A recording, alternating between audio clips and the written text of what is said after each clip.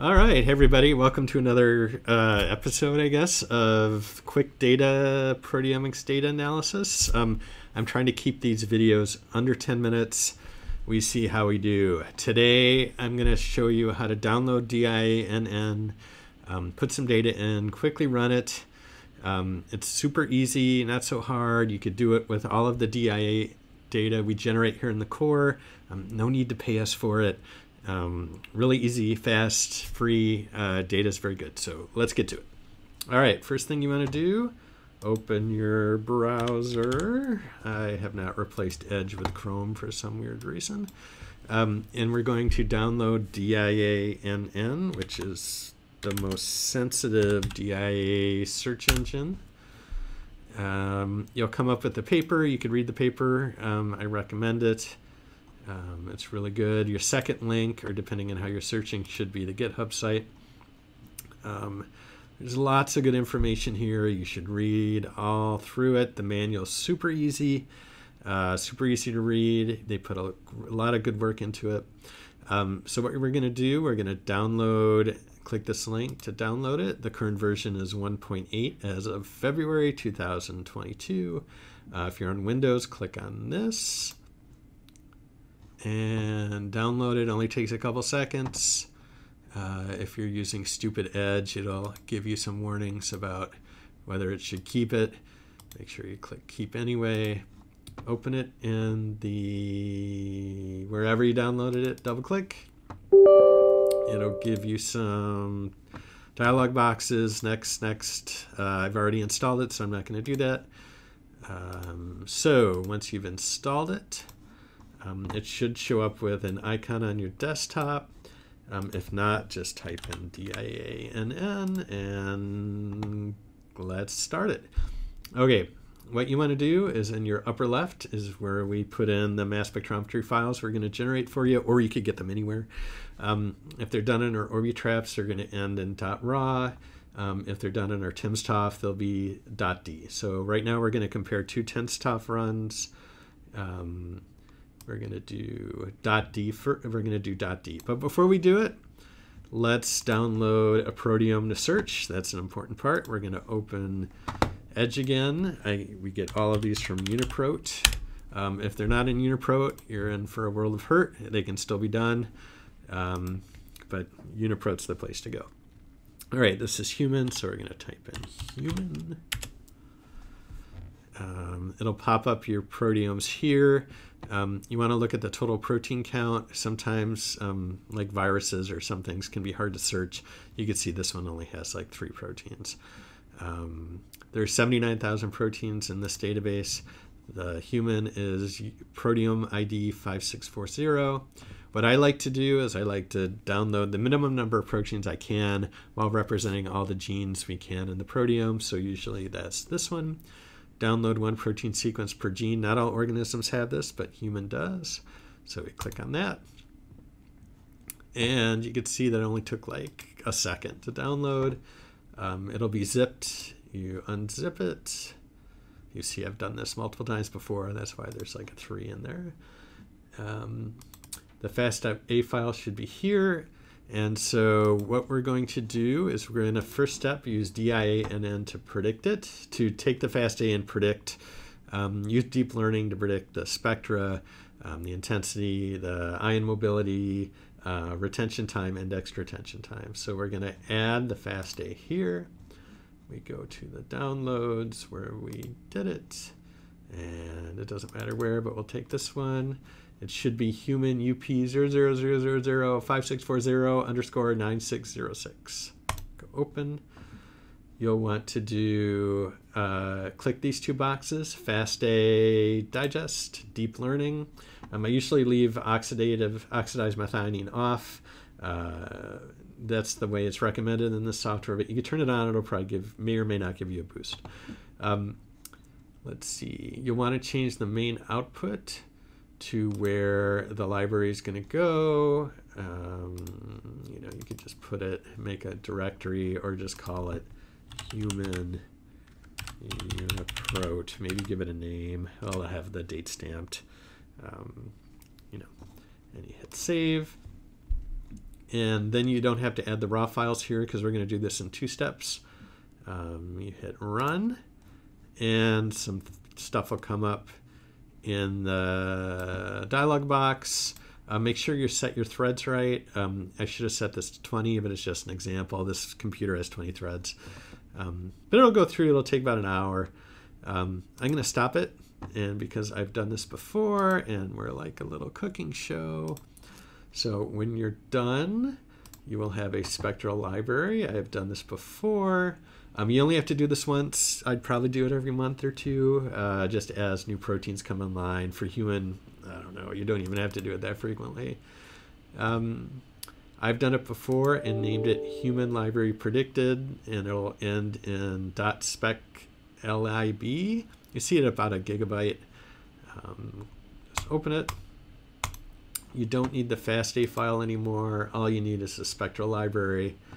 Um, and you don't have to click precursor. You don't have to click these because we've already done it. So we're not doing the library free or deep learning because we've already done the library free deep learning and made the library. So there we go.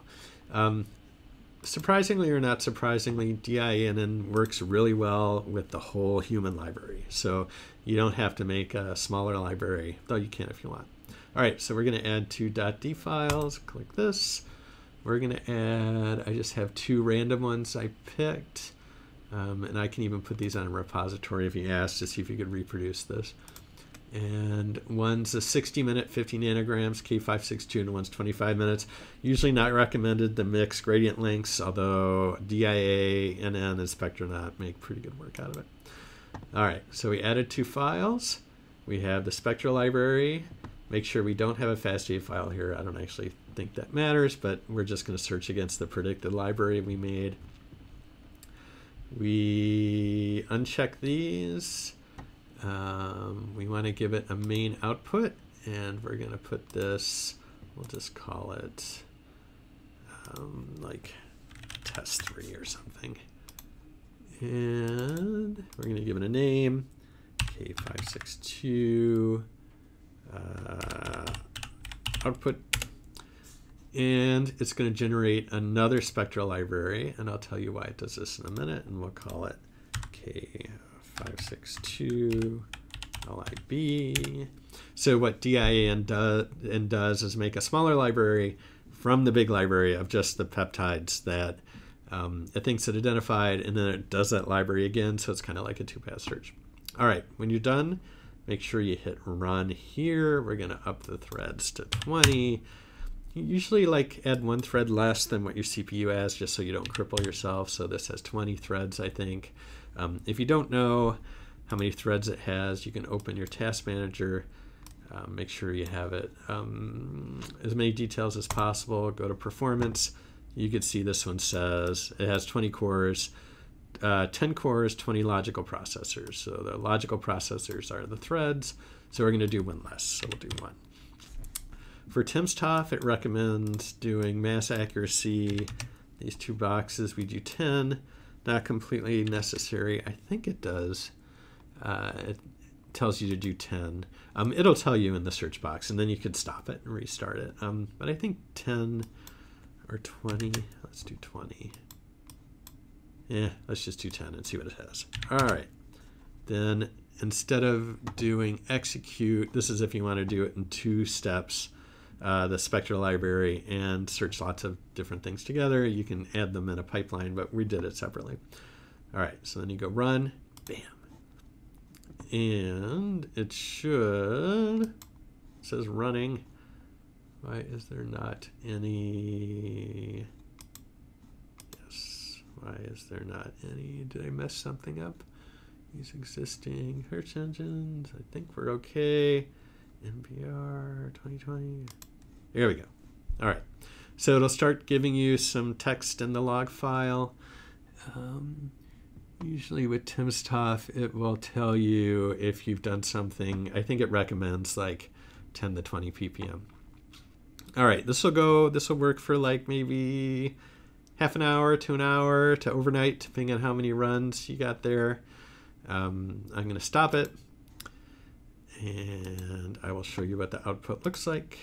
Let's see. this is what the output looks like.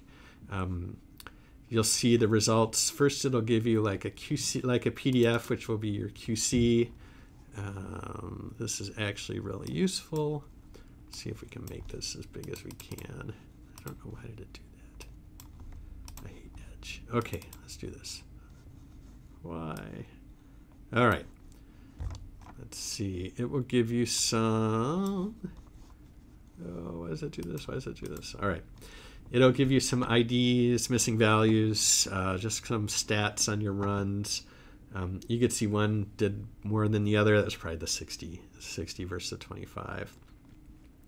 Um, these are kind of hard to read. They've always been kind of um, difficult to read. Um, but this is your predicted and uh, indexed retention time. You can see they're pretty well predicted. It'll give you some stats like total quantity. This is the signal. You can see the 60 is more than the 25. Uh, MS1 signal, MS2 signal. If you if you have the same runs, like if you don't do something silly like I did with a 60 minute to 25 minutes, these should about these should be the same. If they're not, eh, it's kind of a, a red flag. All right, it shows you the number of precursors. You can see we identified more precursors here than in the 25 minutes. A precursor is kind of like a transition. Um, multiple pept peptides can have multiple precursors, just think of it that way.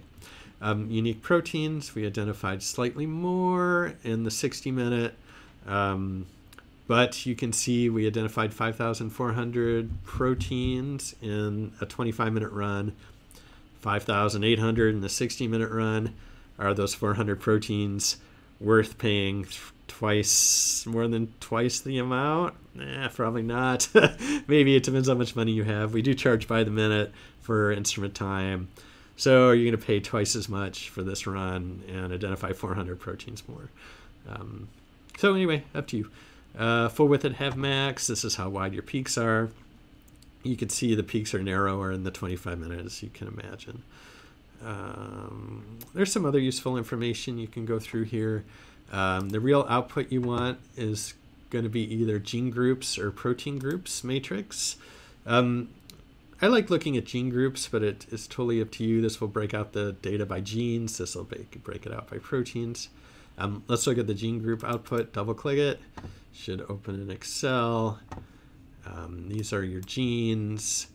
These are your files. This would be the 25 minute, this would be the 60 minute, and these will be your quantitative um, readbacks or your results. You can see it's quite bigger in this one, but then they're about the same for this one.